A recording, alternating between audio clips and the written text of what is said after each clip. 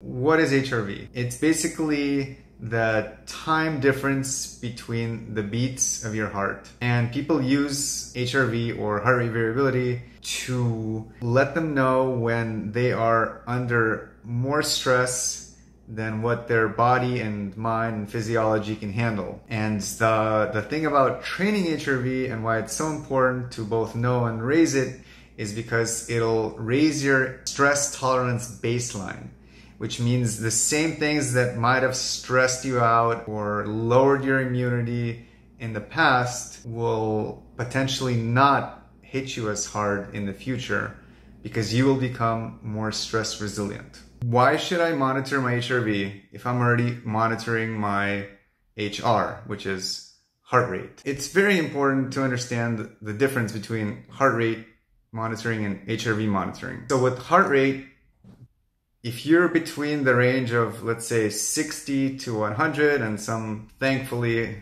have lowered that range to from like 60 to 90 they would say that you're doing okay. But outside let's say if you're above 90 then you are putting excess strain on your heart. Like there's something going on that you need to uh, start paying attention to. But the thing is sometimes somebody can have an in-range heartbeat so their heartbeat can be, let's say, between 80 and 85.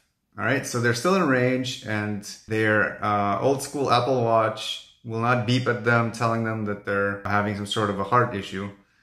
But their HRV might be very low because there's not a lot of room for variation when your heart rate is in such a small range. Very healthy people, uh, very athletic people tend to have ranges of when they breathe out, it might go down to like 60, maybe even low 50s. And then when they go up, it might go up to like 90. So there, there's like a huge variability and range between um, what happens to their heart when they breathe in and out.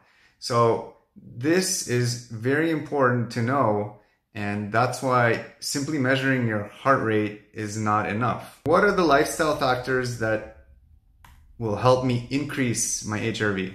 So I'm just gonna go in order of what I think is just the most impactful, easiest, uh, and I'll go down the list. So the first is resonant breathing. So breathing at a certain frequency, which is approximately six total breaths per minute, I know, shocking, right? Like most people breathe like 15 breaths per minute, but six breaths per minute is is a very very healthy breathing pattern, and that will raise your HRV.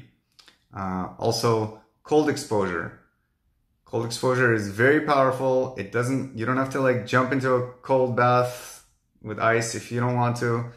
You can just like put a little bit of a, you know, some frozen organic peas on your neck from your freezer, uh, like I've showed in some of my other videos.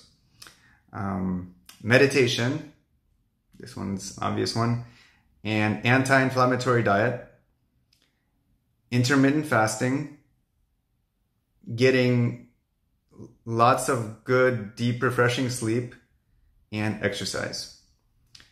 Uh, I'll probably go into more details from these topics that I mentioned in future videos, but for now, this is just kind of a summary so that you can, you know, investigate them as you like.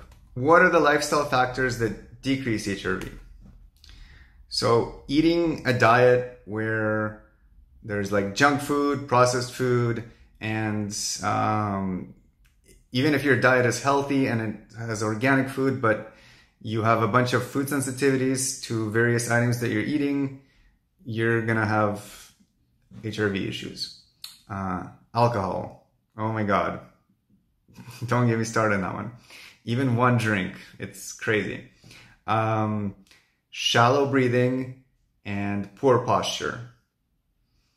Um, hitting it hard at the gym, so like hard workouts and not giving yourself enough time to rest. Uh, maybe taking a couple of days to rest, recover, you very much need those or else you will lower your HRV um, and potentially get injured. chronic stress, that's, that's a given. Uh, acute and chronic illnesses, as well as many, many, many pharmaceuticals uh, that you might be taking. And unfortunately, I'm currently having to take. So, yeah, that has caused my HRV to drop like a mofo.